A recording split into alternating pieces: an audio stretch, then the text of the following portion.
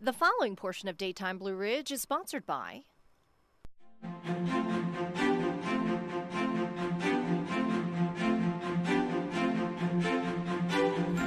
It's Freedom First Friday, and Freedom First has a promise that reads Most banks evaluate their worth by how much money they keep. At Freedom First, we measure our value by how much we give back. Yeah, and one of the ways they give back is by finding solutions for some of the biggest challenges that community members are facing. Dave Prosser from Freedom First joins us today to talk about what the credit union is doing. Thanks so much for coming on. Absolutely, thank you. So, uh, what is your, you know, approach to the community? Because we have you on all the time, and you all really give back to the community a lot. Yeah, so I think you know banks and larger financial institutions have a fiduciary responsibility to do the right thing to pay their stockholders, right? Mm-hmm. And so whether that's you know higher interest rates through fees, lower savings account rates. Uh, credit unions are a little bit different of a philosophy because we do not have shareholders.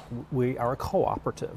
And so, by you being a member of the credit union, you, each one of you would have equal value in that partnership. And so, our uh, investment is back to you in the form of um, higher uh, savings rates, lower um, interest rates on loans, and of course, just the community give back in general. Wow, all right. And one of the issues that you've been focused on for a number of years is predatory lending. Mm-hmm. What is that, and what are you doing? So, predatory lending lending, um, we are referencing in that case the payday lenders that are out there, pawn shops, buy okay. here, pay here, anything that you would pay a higher cost for.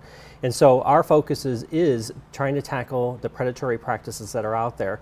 We have about 12 million um, individuals annually that are at least getting a payday loan um, once in a, a, calendar year. Wow. And it is a, a $17.5 billion industry. Wow. Not meaning that's how many loans that are out there, but that is how much they're um, making on the interest and the fees associated with it. So it is big wow. business for yeah. predatory lenders. And you all have developed what is called the payday relief loan. So tell us wh what that is. Exactly. So a lot of times people go to payday lenders because they're stressed. They're stressed in the household you know, you can stress over feeding your family, putting food on the table. Sure. You can stress over how am I going to pay my bills.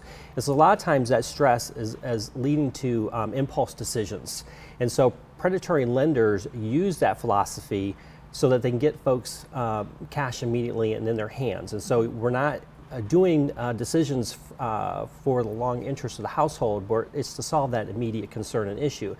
So a lot of times when folks do get into that um, situation, we have a product called Payday Payoff Relief, which is actually helping them get out of that situation quickly. Because okay. a lot of times folks get those loans and then can't pay it off because it's it's uh, tied, and you hear payday lending, yeah. um, and so it's tied with your payroll. So you have to pay it back in two weeks, and sometimes you don't have that money to pay back in two weeks. Right. So you go get another one, and then you're charged another fee that's on top of that. It just builds and builds exactly. and builds. Exactly. Yeah. Okay. So if and so this is to help people get out of out that of that. Yeah. So if somebody's sitting at home going, yeah, that's me, they need to reach out to you Absolutely. and get out of that hole. Yes. What's the best way to reach you? Go right onto our website, uh, uh, www.freedomfirst.com, mm-hmm. and it will, um, you know, under under the uh, community impact area, you'll be able to find um, how you can actually apply and to get out of that situation.